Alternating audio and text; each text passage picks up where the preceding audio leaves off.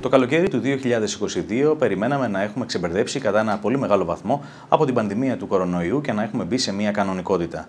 Ωστόσο, η ιστορία έδειξε ότι με τον πόλεμο στην Ουκρανία έχουμε μπει σε νέες περιπέτειες. Πώς μπορεί όμως κανείς να επενδύσει σε ένα τέτοιο τοπίο και να κάνει μια ασφαλή και κερδοφόρα επένδυση; Για τον λόγο αυτό έχουμε μαζί μας τον κύριο Ηλία Γεωργουλέα από την Global Money Managers, με τον οποίο θα συζητήσουμε για το πώς μπορεί να επενδύσει κανείς σε ένα τέτοιο τοπίο και ποια είναι η δικιά του οπτική για το μέλλον. Κύριε Γεωργουλέα, ευχαριστώ πάρα πολύ καταρχάς για την φιλοξενία σήμερα στα γραφεία σας και θα θέλαμε να ακούσουμε τη δικιά σας άποψη για το πώς βλέπετε το τοπίο που δημιουργείται στο μέλλον. Αλλά πριν ξεκινήσουμε, να μας πείτε δύο λόγια για την εταιρεία σας, τη Global Money Managers. Ευχαριστώ ιδιαίτερω. Η GMM ε, αποτελείται από δύο εταιρείες διαχείρισης αμοιβαίων κεφαλαίων. Η μία είναι η USIS εταιρεία διαχείρισης, έχει 20 αμοιβαία κεφάλαια αυτή τη στιγμή under management. Και η δεύτερη, η GMM AIFM, έχει άλλα 54 αμοιβαία alternative. Ε, οι επενδύσεις λοιπόν σήμερα των ε, εταιριών των, των αμοιβαίων των usage κλείσανε την περσινή χρονιά με τις καλύτερες αποδόσεις στην Νοτιοανατολική Ευρώπη με 35 και 41% τα δύο top ε, σε απόδοση fund και αντίστοιχα 61 και 63% στη δύσκολη αυτή τριετία 19, 20, 21 με COVID. Φέτος που τα πράγματα πραγματικά αυτή τη στιγμή εξελίσσονται πάρα πολύ άσχημα λόγω της, ε, των συνθήκων που διαμορφώνονται από το ενεργειακό πρόβλημα αλλά κυρίως από την επίταση αυτού, από, το, από το πόλεμο στην Ουκρανία ε, υπάρχει και ένα αμοιβαίο κεφάλαιο, το Emerging Markets Bond, το οποίο είναι με άποψη αμοιβαίο κεφάλαιο που φτιάχτηκε για αυτό το σκοπό και το οποίο είναι στο συν 4% ενώ όλα τα υπόλοιπα των αγορών βρίσκονται μείον 5, μείον 10, μείον 20%. Ε, το κομμάτι το δεύτερο των alternative funds είναι κάτι το οποίο είναι πάρα πολύ ενδιαφέρον όπως εξελίσσεται διότι δεν επενδύει στις τυπικές, στις κλασικές μορφές επένδυσης, δηλαδή θα πάρουμε κατάθεση, συνάλλαγμα, ομόλογα και μετοχές. Αυτό λοιπόν ε, μπορεί να επενδύσει σε διάφορα project ή σε διάφορες εταιρείες οι οποίες ασχολούνται είτε με την αυτιλία, η οποία πραγματικά το τελευταίο χρονικό διάστημα ε, έχει βγάλει απίστευτες αποδόσεις μέσα στην κρίση λόγω ότι οι τιμές των ημερήσεων ναύλων έχουν κορυφωθεί και αυτό φαίνεται ότι μπορεί να συνεχίσει την επόμενη διετία. Επίσης έχουμε κομμάτι που επενδύει στα διατροφικά προϊόντα, στα αγροτικά προϊόντα, ε, από την παραγωγή του πρωτογενή τομέα μέχρι και την τελική κατανάλωση, ε, τα οποία τιμές τους συνεχίζουν να αυξάνουν και αν λάβουμε υπόψη μας αυτά που λένε οι ειδικοί ότι από τον Οκτώβριο-Νοέμβριο θα περάσουμε ένα διάστημα ενός έτους το οποίο θα έχουμε πραγματικά σοκ στο κομμάτι το επισητιστικό, ε, θα δούμε λίγο τις τιμές να πηγαίνουν ε, πολύ πολύ ψηλότερα από το 5 με 10% απόδοση που παράγει αυτό το προϊόν το χρόνο. Τέλος, το κομμάτι το ενεργειακό έχουμε φτιάξει, πάμε να κλείσουμε χρόνο τώρα, ένα αμοιβαίο κεφάλαιο το οποίο επενδύει στην πράσινη ενέργεια, ε, η οποία εκτός το ότι προσφέρει πραγματικά με, συν, με συνθήκες ESG ε, που είναι τόσο απαραίτητες πλέον για τον πλανήτη μας, προσφέρει όμως και πραγματικά χαμηλές τιμές ενέργειας για τα κράτη τα οποία έχουν να εισπράξουν ενέργεια από, το, από πράσινες πηγές. Αυτό λοιπόν το fund, ε, λόγω των εγγυημένων συμβολέων που έχει από το ΔΔΕ για τα επόμενα 20 χρόνια, ε, λαμβάνει έσοδα τέτοια που μπορεί να προϋπολογίσει ότι θα μοιράζει σταθερά 5 6% μέρισμα το χρόνο στους επενδυτές του. Βλέπουμε λοιπόν ότι ενώ σε συνθήκες κρίσης τα περισσότερα γνωστά asset καταραίουν, Υπάρχουν μορφές επένδυσης, όπως το κομμάτι του green που θα μοιράσει στους επενδυτές ένα σταθερό εισόδημα. Υπάρχει το κομμάτι για επιθετικούς παίχτες, ε, ανθρώπους οι οποίοι έχουν ε, φάει ζημιές μεγάλες στις μετοχές, που έχουν φάει ζημιές τεράστιες στα κρυπτονομίσματα ή στα forex, οι οποίοι θα μπορούν να αναπληρώσουν τις ζημιές τους την επόμενη διετία από το κομμάτι το ναυτιλιακό, τις επενδύσεις σε ναυτιλιακά φαν, και υπάρχει βέβαια και το κομμάτι το αγροτικό, το οποίο μπορεί να δώσει νούμερα μέσα στην κρίση απίστευτα, έχοντας και μια σταθερότητα στο εισόδημα που παράγουν. Να σταθούμε λοιπόν στο τελευταίο κομμάτι, στο κομμάτι της πράσινης ανάπτυξης και αν θέλετε πείτε μας μερικά λόγια παραπάνω για το αμοιβαίο που έχετε εσείς πάνω σε αυτό το τομέα. Λοιπόν, ε, η αλήθεια είναι ότι έχουμε δύο αμοιβαία πλέον πράσινης ενέργειας. Το πρώτο λειτουργεί ήδη εδώ και 9 μήνες. Η αλήθεια είναι ότι στην αρχή έπρεπε να αγοράσουμε για να μπορέσουμε στους επενδυτές μας να αποδώσουμε κατευθείαν το μέρισμα, γιατί κάθε 6 μήνες, 36 πληρώνει μέρισμα στο λογαριασμό των επενδυτών και 30 12, 31 12 πάλι μοιράζει στο λογαριασμό των επενδυτών, δεν μπορούσαμε να πάμε να μπούμε στην ε, κατασκευή κάποιων ε, ενεργειακών project, γιατί δεν θα είχαμε άμεσα το έσοδο. Έτσι λοιπόν μπήκαμε στη διαδικασία εξαγοράς ε, του πρώτου υδροελεκτρικού έργου, το οποίο δούλευε ήδη 2,5 χρόνια, ήταν δοκιμασμένο στα νούμερα που είχε, άρα με το που το εξαγοράσαμε, αυτομάτως είχαμε έσοδο. Πληρώσαμε 36 προχθές το πρώτο μας μέρισμα, πληρώσαμε 2,5% στους επενδυτές μας.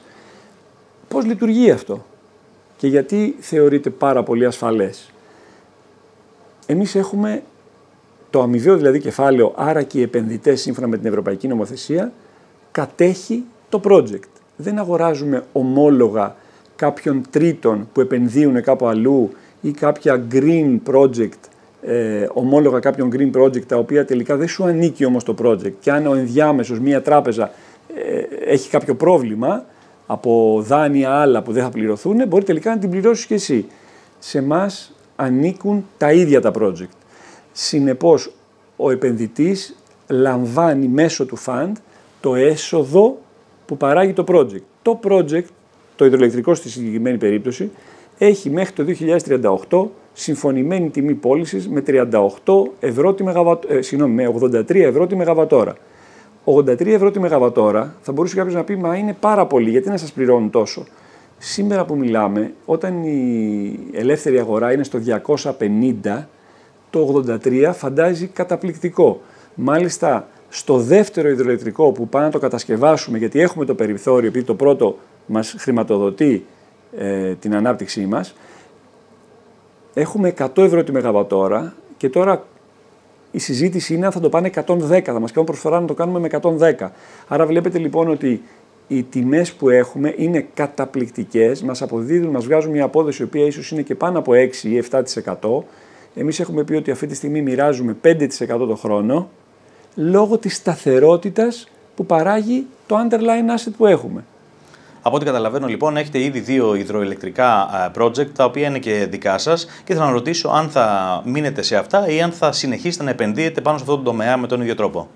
Επειδή κάθε μήνα έχουμε πάρα πολλές προτάσεις για επένδυση στο κομμάτι των green, επειδή πλέον μας ξέρει η αγορά ότι ψάχνουμε τέτοιες επενδύσεις, υπάρχει μια αξιολόγηση διότι είναι αδύνατο για μας να δεχθούμε κάποια project σε τέτοια τιμή που να μας χαλάει το ήδη πάρα πολύ καλό uh, track record που έχουμε και αυτό που ξέρουμε βάσει των συμβάσεων που έχουμε, το τι χρήματα θα πιστώσουμε στους επενδυτές μας, τι ποσοστό λοιπόν απόδοση θα πάρουν.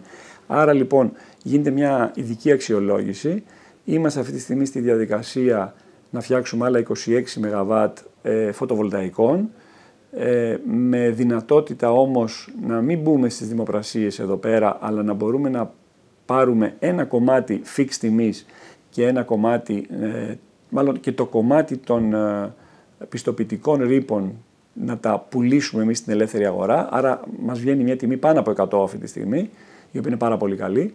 Ε, είμαστε στη διαδικασία επίσης να κοιτάξουμε κάποιες ανεμογεννήτριες, ε, οι οποίες ε, είναι σε φάση κατασκευής και πάρα πολλά έργα. Επίσης κοιτάμε και κάτι έργα σε Scythia Project, τα οποία και αυτά μας ενδιαφέρουν πάρα πολύ, παρόλο που η τιμή του φυσικού αερίου σήμερα έχει πάει πολύ ψηλά, γιατί αυτό είναι σύνθια με, με καύση φυσικού αερίου, ε, το συνδυάζουμε με κάποιο άλλο προϊόν, θερμοκήπιο παραγωγής ντομάτας, το οποίο τελικά μας βγάζει μια τιμή που υπερβαίνει τα 200 αυτή τη στιγμή. Άρα είναι πάρα πάρα πολύ κερδοφόρα. Κοιτάμε οτιδήποτε υπάρχει στο χώρο, αρκεί να δούμε ότι είναι με ασφάλεια ε, να βγάζει μια κερδοφορία. Δεν μας ενδιαφέρει να βγάλει τρελά κέρδη. Αυτό το προϊόν, αυτό το φαντ είναι για τους συντηρητικούς επενδυτές για να εισπράττουν ένα σταθερό εισόδημα. Ποια ομάδα επενδυτών αφορούν αυτά τα project και πώς θα μπορούσαν να έρθουν σε επαφή μαζί σας; Η ιδέα όταν ε, πριν ένα χρόνο κατέβηκε στο κεφάλι μας, να το πω απλά, ήταν ότι έπρεπε να δώσουμε στον απλό καταθέτη μία λύση.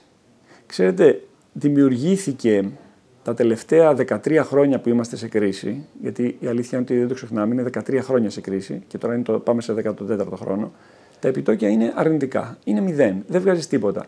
Στην πραγματικότητα δανείζεις τα λεφτά σου στην τράπεζα και δεν πληρώνεσαι τίποτα. Άρα, έπρεπε να βρούμε για αυτούς όλους τους ανθρώπους μία λύση η οποία να τους δίνει σε κάποια διάρκεια χρονική ένα συγκεκριμένο εισόδημα. Δεν μπορεί να είναι τα λεφτά σου ανοιχτά αν θες να προσδοκάς να πάρεις 5% ή 5,5% ή 6%. Είναι αδύνατον. Πρέπει λοιπόν για να κατέχεις το έργο μέσω του αμοιβαίου θα πρέπει να έχεις βάλει στο μυαλό σου ότι εγώ αυτά τα, ε, στα αυτά τα χρήματα βάζω κάποια δέσμευση. Η δέσμευση που έχουμε ζητήσει και έχουμε υποβάλει τα χαρτιά και έχει αδειοδοτηθεί το φαντ στην Επιτροπή Κεφαλαγοράς Κύπρου είναι πενταετία.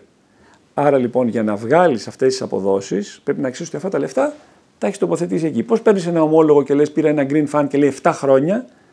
Έτσι λοιπόν σε αυτό είναι 5 χρόνια. Στη λήξη παίρνεις τα λεφτά σου αν θέλεις, αλλιώς κάθεσαι μέσα με δικαίωμα να τα πάρεις όποτε θέλεις. Συνεπώς οι επενδυτές είναι άνθρωποι που μαζέψανε χρήματα όλη τη ζωή δουλεύοντα, είτε ήταν επαγγελματίες, είτε πουλήσαν ένα οικόπεδο, είτε ένα ακίνητο, είτε ε, πήραν ένα εφάπαξ και έχουν κάποια χρήματα στην άκρη και θέλουν να ζήσουν από αυτό χωρίς όμως πλέον να τρώνε αυτά τα χρήματα. Θέλουν να παράγουν τα χρήματα για αυτούς ώστε να μένουν σταθερό το κεφάλαιο που έχουν επενδύσει. Και να έρθω και λίγο στη δικιά μας αγορά. Ε, έχετε σχέσεις με τους ε, ασφαλιστικούς διαμεσολαβητές; Θέλω να πω, ε, θα μπορούσαν να προωθήσουν κάποια από αυτά τα προϊόντα; Στην Ελλάδα τα αμοιβαία μας διατίθονται από, την, ε, από τους αντίστοιχους διαμεσολαβητές. Ε, έχουμε πάρει άδεια από την Επιτροπή Κεφαλαγοράς για τη διάθεσή τους. Ε, στην αρχή δεν το είχαμε τόσο πολύ στο μυαλό μας για την ανάπτυξη μέσω ασφαλιστικών δικτύων. Ε, βλέποντας την πράξη ότι υπάρχει πολύ μεγάλη ζήτηση και ενδιαφέρον, ε, αναπτύχθηκε ιδιαίτερα αυτό το κομμάτι και είμαστε στην ευχάριστη θέση να μπορούμε να εξυπηρετήσουμε ασφαλιστικά δίκτυα και συνεργάτες για να μπορέσουν οι ίδιοι να προσφέρουν μοναδικά προϊόντα στους πελάτες τους, το οποίο θα τους δώσει μια, ένα επιπλέον όπλο στη φαρέτρα τους έξω στην αγορά. Αν και βρισκόμαστε στο καλοκαίρι και όλοι θέλουμε λίγο να ξεκουραστούμε, ε, εγώ θα ήθελα να ρωτήσω κλείνοντας πώς βλέπετε τον επόμενο χειμώνα όπου προμηνύεται αρκετά δύσκολος; Το θέμα είναι ότι σήμερα όλοι απολαμβάνουμε το κομμάτι των διακοπών μας, τρώμε, βγαίνουμε έξω, απολαμβάνουμε αυτά που πραγματικά μας προσφέρει πλούσια η χώρα μας η αλήθεια είναι ότι όπως φαίνεται τα πράγματα, μετά τον Οκτώβριο-Νοέμβριο θα βρεθούμε και σε επισητιστική και σε ενεργειακή κρίση. Τι σημαίνει ενεργειακή κρίση; Σημαίνει ότι αυτή τη στιγμή η Βόρεια Ευρώπη δεν θα μπορεί ή να λειτουργήσει full τις βιομηχανικές της μονάδες ή και δεν θα μπορεί να θερμάνει πλήρως τον πληθυσμό της. Θα δούμε δηλαδή πιθανόν ε, ενεργειακούς μετανάστες το χειμώνα, οι οποίοι θα έρθουν στις νότιες χώρες, στις χώρες γύρω από τη Μεσόγειο, για να μπορούν να καταλύσουν για δύο-τρεις μήνες, για να σωθούν, γιατί δεν θα μπορούν να θερμανθούν. Γιατί εδώ τουλάχιστον και χωρίς να θερμανθούμε θα επιβιώσουμε.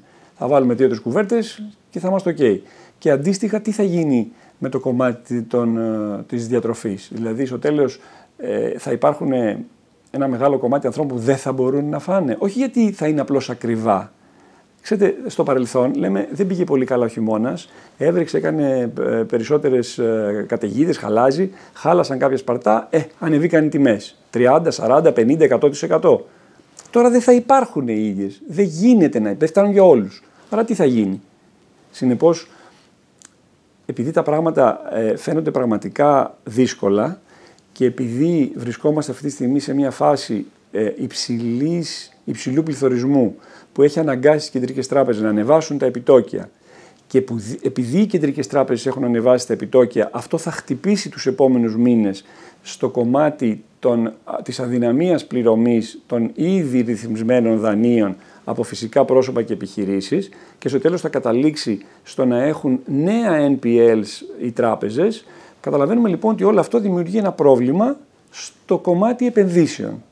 Ε, το πρώτο στο πρόβλημα δεν είναι το κομμάτι των επενδύσεων. Το πρώτο πρόβλημα είναι το πραγματικό κομμάτι της διαβίωσης. Από εκεί και πέρα λοιπόν, αν θέλουμε εμείς να σκεφτούμε πολύ ψύχρεμα το πού μπορεί κάποιος να επενδύσει με τη μέγιστη δυνατή ασφάλεια μέσα στην κρίση και υπό προϋποθέσεις βέβαια χρονικής ε, δέσμευσης, νομίζω ότι μια διασπορά μεταξύ του Green Fund, των ενεργειακών λοιπόν, του αγροτικού fund και των διατροφικών ε, επενδύσεων και ταυτόχρονα με τον συνδυασμό των πολύ ψηλών αποδόσεων που βγάζουν τα ναυτιλιακά fund, τα οποία φέτος το εξάμεινο ξεπερνούν το 27%, νομίζω ότι θα μπορεί να έχει μία σύνθεση με τη διασπορά του σε ασφάλεια σε συνδυασμό με μεγιστοποίηση της απόδοσης. Κύριε Γεωργουλέ, ευχαριστώ πάρα πολύ για όλα όσα μοιραστήκατε μαζί μας. Εγώ θα κρατήσω ότι σε κάθε δύσκολη συγκυρία πάντα υπάρχουν και ευκαιρίες. Ευχαριστώ πολύ.